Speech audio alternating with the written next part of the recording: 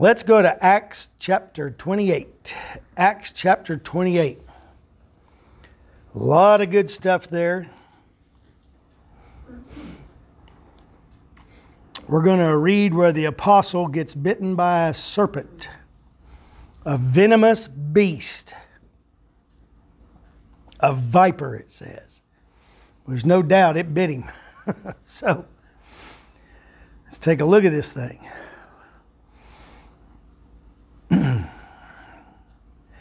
All right, beginning in verse 1 of Acts chapter 28.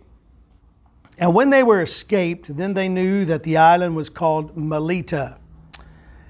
And the barbarous people showed us no little kindness, for they kindled a fire and received us every one because of the present rain and because of the cold.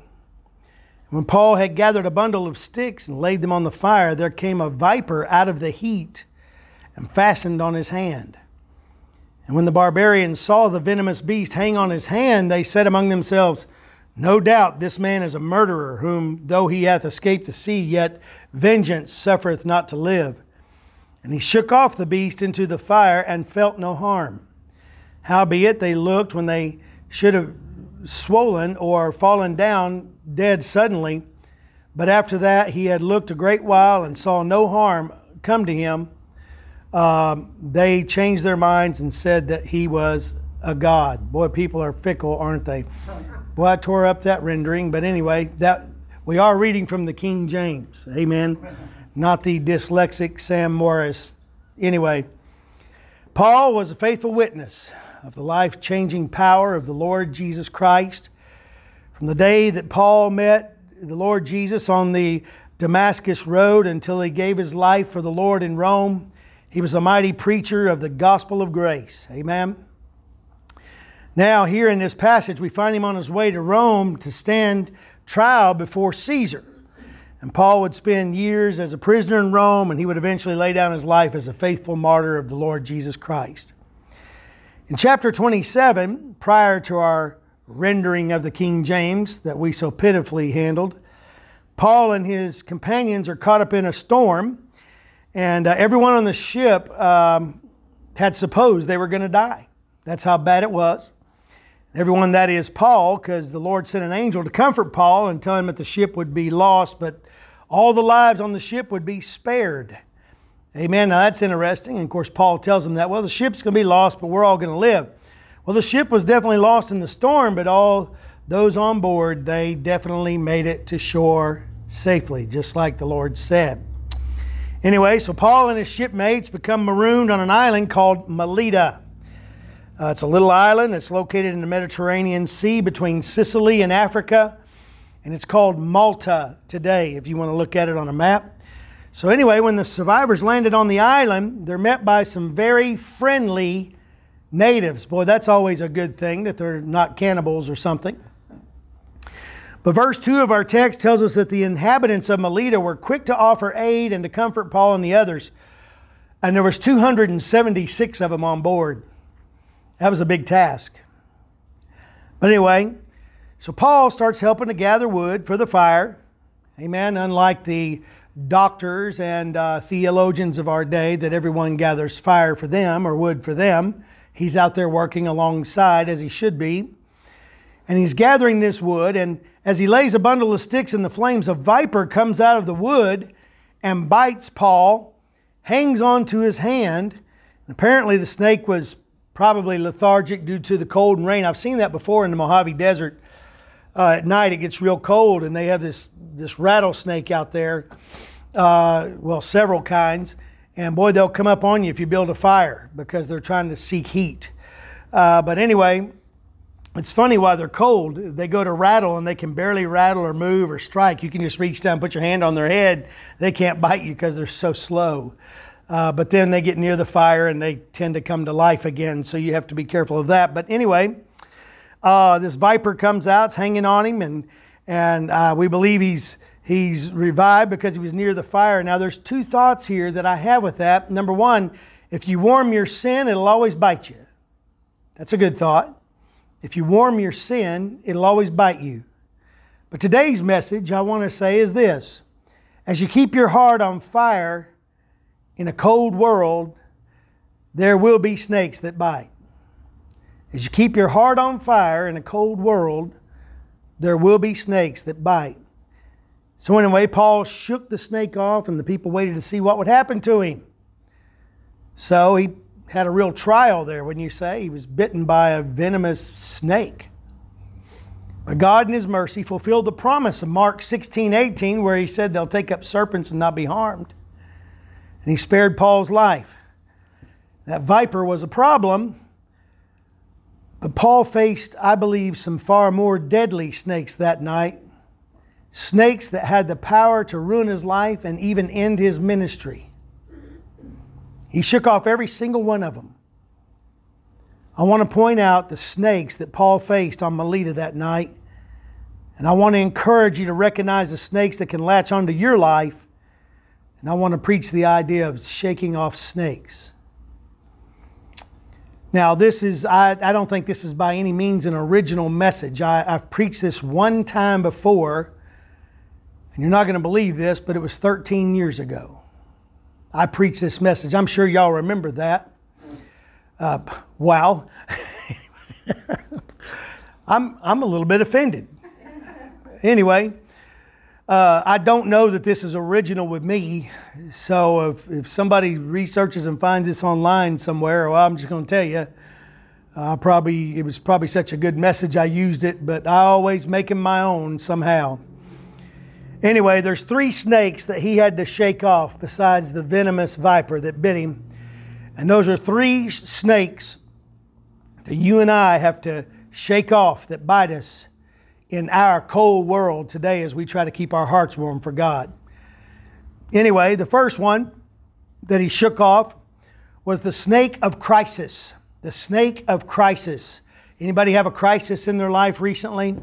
Yeah, it seems like 2018, uh, 2017 until now has been nothing but crisis after crisis in our little church and in our family. But there in verse 3, it says, And when Paul had gathered a bundle of sticks and laid them on the fire, there came a viper out of the heat, fastened on his hand. So here he was, he was bitten. And that's a real crisis when a rattlesnake or some other kind of viper gets a hold of your hand. Now, that snake was venomous and could have claimed Paul's life right there, that very moment. Now, of course, we know God took care of the venom, but here's the problem the crisis came when Paul was doing good. Always remember that. The crisis came when Paul was doing good. Now, after the episode on the ship where he saved everyone's life, he probably could have demanded special treatment, but he's out there working and serving. And still, a time of crisis came into his life. I don't know why it is, but we as Christians sometimes think that our faithful service to the Lord is some kind of a shield against trouble in our lives. Absolutely not. That is just no, not so. Amen. I mean, if we ask Job, he'd say the same thing. What matter of fact, uh, the devil was allowed to unleash in his life and God said that he was a righteous man that eschewed evil. When you think about Shadrach, Meshach, and Abednego, they were serving God at the height, I mean, serving God. And then now they're cast into a fiery furnace. Daniel, at the height of his service, cast into a lion's den. Elijah, chased for his very life. You think about the disciples, every one of them we named in the Martyr's Mirror as we present that book in our services. And even the Lord Jesus Christ, who went about doing good, always suffered crisis, the crisis of persecution and the cross. Can I tell you that troubles are a part of everyone's life? Job 14:1 says, "Man that is born of woman is a few days and full of trouble." John 16, 33, Jesus said, These things I have spoken unto you, that in me ye might have peace. In the world ye shall have tribulation, but be of good cheer, I have overcome the world. Amen. We, we seem to think, why am I going through this crisis? I mean, after all, Lord, I, I preach the gospel, I study the Bible, I, I don't kick the dog, I come home at night, I'm kind to my boss, I don't steal from anybody, I preach the gospel out on the street, I go to Africa, I go, you know, and all these things. And then trouble hits your life. Can I tell you? The trouble hits your life because of those things, not in spite of those things. But boy, I tell you, sometimes in my life, when trouble has come along, it it's derailed me a little bit. I'm sure some of y'all are in the same boat. Sometimes we feel like God's holding out on us and we feel that we deserve better treatment than what we're getting. I guess what we need to do in the time of crisis is do like Paul and put your faith in the promises of the Lord and believe Him for the help you need. See, in our times of trouble, we have some very precious promises. Did you know, according to Hebrews 13 5, we have the promise of His presence? Did you know, according to 1 Corinthians 15 57, we have the promise of His victory? Did you know, according to Romans 8 28, we have the promise of His purpose in our life? According to 2 Corinthians 4 17, we have the promise of His, He has a plan for our life. According to Ephesians 3:20, we have the promise of his power in our life. I want to tell you something. We've seen in the Bible, we serve a God who is our Father, and according to the witness of the scriptures, he has moved heaven and earth to meet the need. I mean, you want the sun to stand still? He did that a couple times. Want the waters to cease? He did that, no problem. Had a rock of water which followed uh, the nation of Israel through the dry desert. He can do anything he wants. I mean, you think about Elijah and all the miracles surrounding his life with the altar of fire and, and so on. You think of Joshua, Moses, the disciples, uh, the widows, he took care of widows, Mary and Martha, Jairus, his daughter, and then people we know, contemporaries like George Mueller, who would not have anything to feed anybody in his orphanage in England, and he would just get out by the road and pray that God would provide breakfast. And one time a milk truck broke down and gave him all milk for breakfast uh, uh, because he was praying. Amen. There's countless others. What I'm trying to tell you is the crisis is going to hit, but Paul didn't just lay down and die. See, you know what he did? He shook it off. He shook off the snake. Shake it off. Shake it off. Amen. Easier said than done, I know. And in my life, I've not shaken them off so quick, and it's cost me. Shake them off. Amen. So we see a snake that can latch on to your life is the snake of crisis. Well, let's move on. The second one we find in verse 4, and it'll be the snake of criticism. Criticism. Verse 4 says, And when the barbarians saw the venomous beast hang on his hand, they said among themselves, No doubt this man is a murderer, whom though he hath escaped the sea, yet vengeance suffereth not to live. As soon as Paul's bitten by the snake, these people begin to criticize him. Isn't that interesting? You know, church people will do that. Instead of try to help a brother, they'll criticize him. Now, these people, of course, they're heathen, barbarous. So they were suspicious people, and they assumed that the viper bit Paul because of some evil in his life.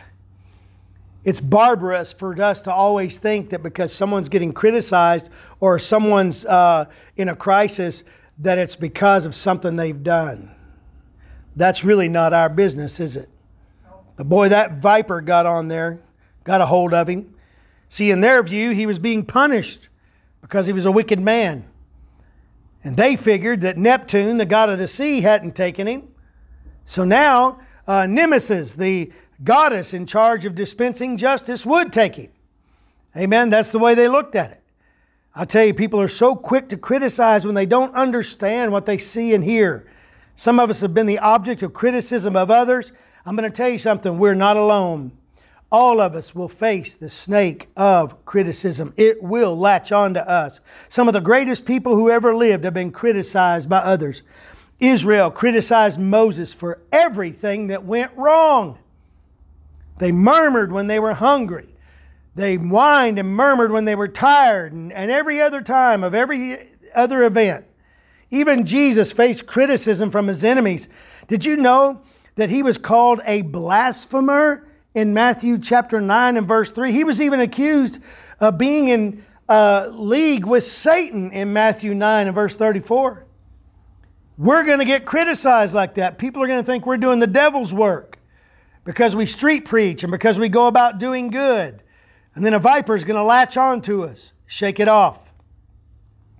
If you're not careful, the criticism you face from others will cause you to become defeated.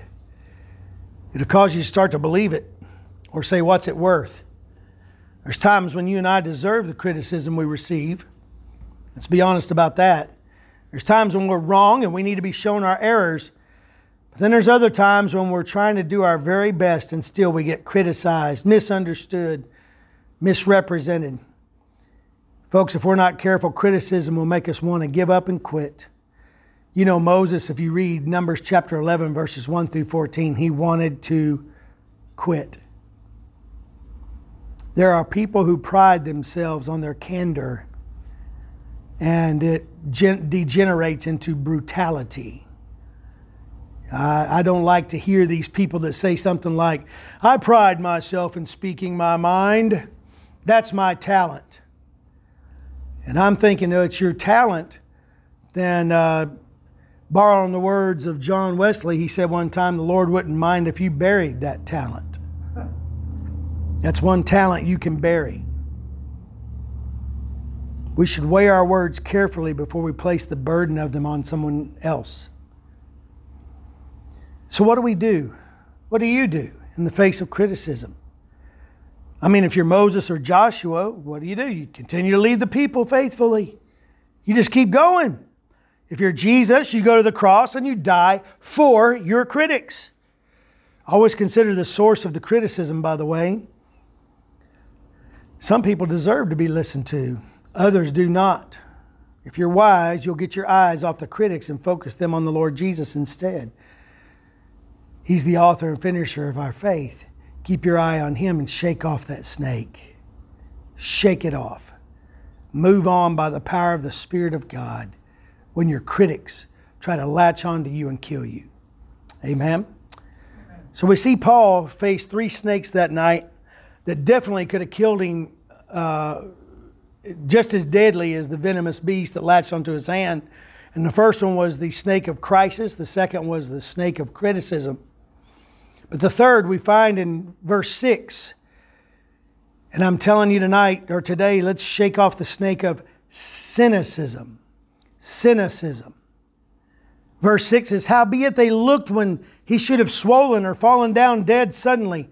But after they had looked a great while and saw no harm come to him, they changed their minds and said that he was a god. These people were sitting there watching Paul, waiting for him to swell up, fall down, and die. They expected a great fall from the apostle. They were a cynical crowd that looked for nothing good to come of this situation. How many people in this room have been the object of some cynic's words? Oh, you'll never make it. This church thing won't last. You're going to fail. You're going to give up on this. This isn't real. You're going to fall. Some people are just waiting for you to fail. I mean, if you're not careful, the prophecy of the cynic can become self fulfilling. But you make a mistake and you say, Where's the, What's the use? I might as well quit. Can I tell you the cynics don't have the last word? You do. Shake off the viper of cynicism and prove the doubters wrong by your faithful obedience to the Lord. And by the way, this is all about His glory. It's not about proving anything. But when you shake off that snake and you turn to the Word of God and believe His promises, you will show the doubters, the, the, the naysayers. Amen. David you know, when he went out before he fought Goliath, his brother said he was too insignificant. Go, what are you doing out here? Go, go back to that little flock that you've got. You're a nobody. Saul looked at him and said, You're too young, man. You cannot go out and face. Saul should have been out there facing that giant. Saul was the biggest man in Israel. What about David's brother, the captain of the army? He should have been out there facing that giant. But no, little David did. They said he was too, too young, too insignificant. And David looked past those victories, uh, and or I'm sorry, David looked uh, to past victories and knew God would deliver based on his promises. You know, when you hit a crisis or a cynic or anything like that in criticism, you got to realize, well, wait a second, God's pulled me out of something like this before. And He'll do it again. Remember, He's our eternal Father, as we found out this morning. Amen. With an eternal spirit, an eternal Son, eternal Bible, and eternal life. Amen. He'll always be there for us. His promises never go away. He always knows what He's talking about. Amen. What about the Lord Jesus? The Jews, even the Jews did not believe in him. He came into his own, and his own received him not. Even his own family did not believe in him. But you know what he did? He kept going until it is finished. And when it was all finished and he died and was buried, he still got up and went again. Shake off the snake. You know, I don't think anybody but you determines the quality and length of your service to the Lord. Not a critic, not a cynic, not a crisis. Those will all drive you from Him. Those will all latch on you and try to kill you. But that's only if you allow it. Greater is He that is in me than He that is in the world you can shake off that snake. You are given that ability as a child of God when you are given the new power of the Holy Spirit in your life. You can shake off the snake. So you got to ask, or I've got to ask you, are vipers attaching themselves to your life?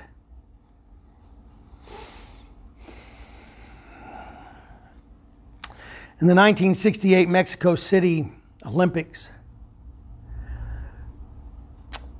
there was a guy from Tanzania, a, a, a runner, and he finished 36th in the Olympic, whatever that was, marathon, whatever. When they interviewed him,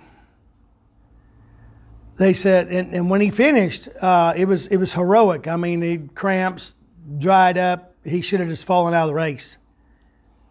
And here's something he said. Why, why didn't you just quit when, it, when you knew you had it lost? You knew you had it lost. And he said, I was not sent here to start. I was sent here to finish. Amen. He was representing his country. And Paul, folks, that viper clung to him that night. And these three spiritual vipers that we're talking about all clung to him that night. He shook him off, and he was still yet to pen the words I have finished my course. Folks, we can shake it off. I'm going to tell you, uh, as of late, some of the things that have gone on in our body are very discouraging people all finding fault, and it's like just latching on somehow as we try to serve God. But I'm telling you, we can shake it off and move on. Amen. There's some things we can't just do anything about, and that's all there is to it. And we can just pick up and go on. Shake off the snake. Don't, don't let crisis, criticism, or, or cynicism stop you from doing what God's called you to do. Amen? Amen. All right. That wasn't a very long one, but hopefully it was encouraging. Amen. Amen.